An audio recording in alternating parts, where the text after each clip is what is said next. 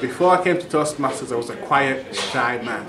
And through the meetings and the programs, I've been able to come out of my shell. I had to give a speech at a council meeting, and it was one of the most terrifying experiences of my life. I stuttered, I stammered, I spent the entire time looking at my notes and talking to the desk. I certainly had a few nerves the first time.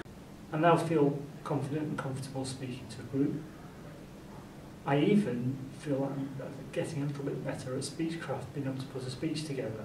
I've now done around 25 speeches, so I feel well versed and much better than I did when I first started.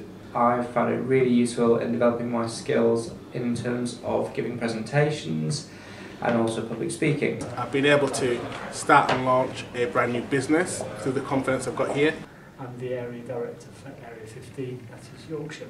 So it gives me a chance to be able to make a difference, not only to the people around me in my club, but also to people across the area and help them to improve what their clubs can offer and how they can help people.